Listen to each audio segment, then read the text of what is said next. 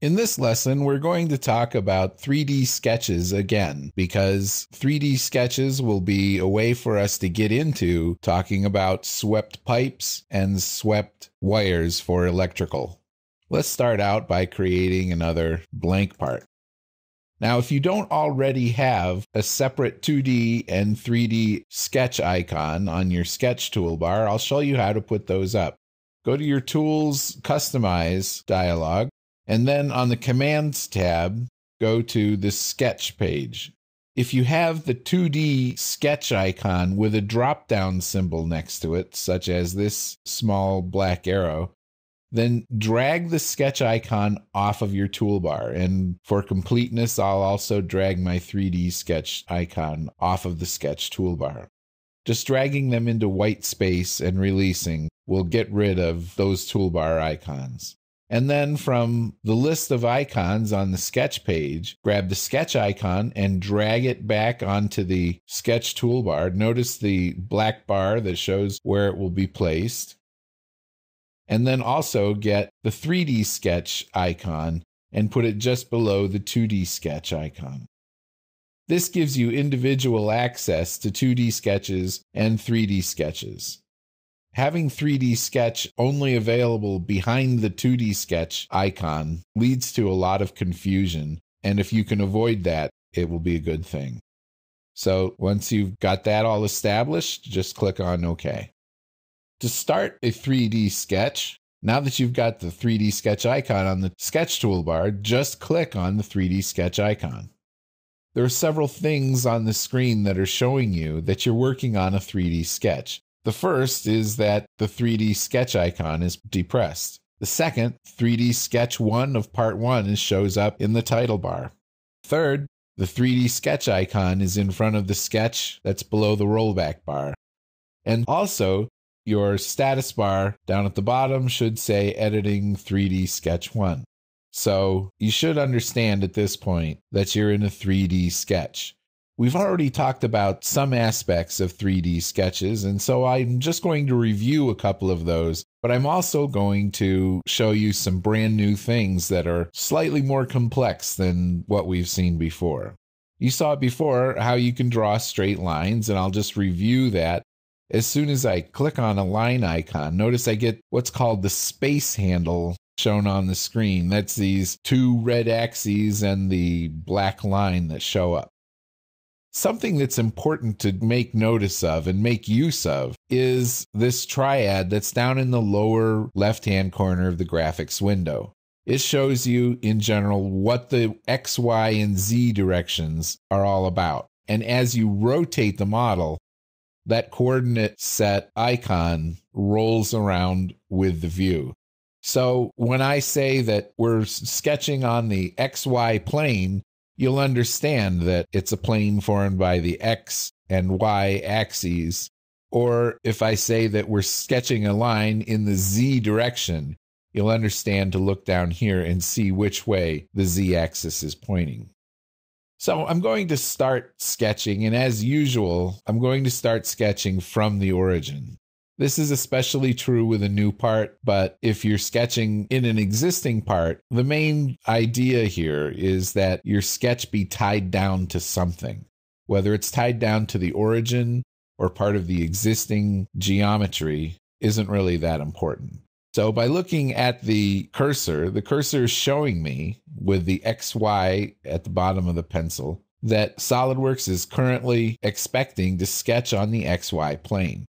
When I start sketching from the origin and drag out a line, the yellow dotted lines on the screen show me that SolidWorks is giving me the option of placing the second point of my line anywhere on the XY plane. I could place it here where it gets the along X relation. Notice the yellow symbol to the lower right of the cursor shows that this is along X. So I'll just click on a point along X. If I go straight down, it's showing me I'm along Y now. And if you look at the origin, you'll see that indeed it's in the same direction as the Y axis. Now, if I wanted to sketch in the Z direction, I have to press the tab key to allow that space handle to reorient. And now my cursor is talking about the YZ plane. And my automatic relation at this point is along Z. So if I press escape now to get out of the sketch command, or get out of the line command rather, and then rotate the 3D sketch, it's often important to see your sketch from multiple points of view because trying to sketch in 3D while you're on a 2D monitor can be quite deceiving. Another trick that you might try is to go to the window menu and fly out the viewport option and get the four view selection. This allows you to see your sketch from multiple points of view, including from an isometric point of view. So if you continue to draw lines on your 3D sketch, your views in the front, top, and right views will also update. Also, if you start sketching from one of the other views, it will show up in all of the other views. So this is a handy method to use when sketching in 3D. Now I'm going to press escape here and we're going to start applying some sketch fillets. Let's bring the cursor over this corner. And 0.05 is a little small, so let's make that 0.25 or maybe even 0.5. Okay, now I can select these corners in any of the views, and SolidWorks keeps them updated. If I want to add dimensions, Sometimes adding dimensions with sketch fillets can be tricky. Oh, there's one that I forgot.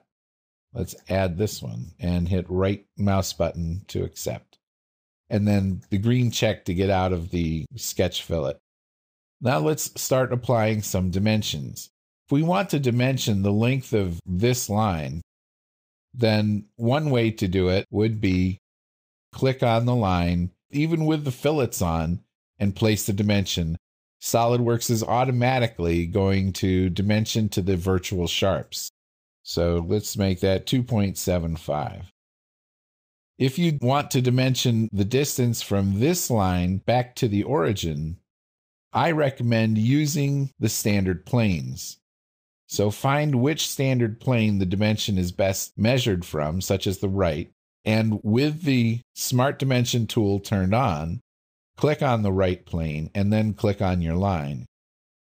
Unlike 2D sketches, in 3D sketches, if you click between multiple points, such as this point and that point, SolidWorks is only ever going to enable you to get a straight line dimension and what is called an aligned dimension. You're not going to get the horizontal or vertical dimension in a 3D sketch. If you want a vertical or a horizontal dimension, you can force SolidWorks to do that kind of thing. And the way you have to do that is to dimension from a plane. So in this case, if I want to dimension from the origin to this point, we're just going to get a straight line dimension. And we can't get that to line up. If I want to dimension from this line to that point, again, the dimension cannot be created. So I'll hit Control Z to undo whatever that did. And now I'll try the dimension again, but this time I'll do it from the front plane to the point. And this gives me the dimension that I want to have. So dimensions and relations in 3D sketches are very different from what you're used to in 2D sketches. The one more thing I want to talk about before we move on is splines. Splines in 2D can be difficult, but splines in 3D are even more difficult. We're going to be working with splines in 3D in order to create tubes or wires. And let's give that a shot right here. The spline tool is on the sketch toolbar by default. And just to start practicing with splines, you can click various control points and the spline has to go through each point that you put down. When you're sketching in 3D, the spline is actually being created either on a selected plane or on a plane parallel to the view. when you move the spline points in 3D, you may be getting something other than what you intend. And it's a good idea to rotate that every now and then to see what you're working with and what you're creating. 3D splines are one of the best excuses for using these viewports. I'm going to select each viewport and press the F key for zoom to fit to make sure that SOLIDWORKS is showing me what's going on. Notice that as I move a point around dynamically, the spline is being updated in all the views. This is very handy. Now, I'm going to just delete this practice spline and get down to some sort of a practical application of how to create this spline. I'm going to connect this open endpoint through a couple of control points in space with the endpoint at the origin. To exit the spline, just press the escape key. Now, this spline is by no means a 2D spline. Points are all over the place and I can drag them anywhere. But let's start adding some relationships. So I'll click on the spline here and control select this line and use the make tangent option. Notice what this does to it. This creates a handle and this handle can be shortened or lengthened to increase the stiffness of that tangent relationship. Next, I'm going to come up to this other endpoint, and just to make sure that it's the spline that moves rather than my lines, I'm going to right click on this straight line and use the fix constraint. This over constrains some things, and so I'm going to click on the red along Z and delete that to prevent it from being over defined. From here, I'm also going to make this spline tangent to the line and take a look at what that's doing to the rest of the spline. I can adjust the positions of these points. These points can be dimensioned in 3D. They can also be given relations to existing points. So I could take this point and actually drop it onto the virtual sharp created by one of the fillets. I could add or delete constraint points. So what I'll do is hit Control Z a couple of times to get that point off of the virtual sharp and then delete this spline point, which leaves me with just one point controlling the spline other than the endpoints. And now I can also delete that point.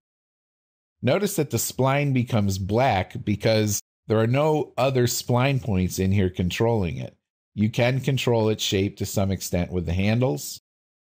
Or if you decide you need it, you could add back a spline point. So I can right click and insert spline point. Make sure that the circle with the line through it symbol goes away before you try to place a point along the spline. Now you can grab that point in any other view and change its position. This is often very helpful, and these multiple view displays are extremely useful with 3D sketches. In the next lesson, we're going to try to apply some of these ideas to a practical design problem where we have tubing and electrical wires that need to be run.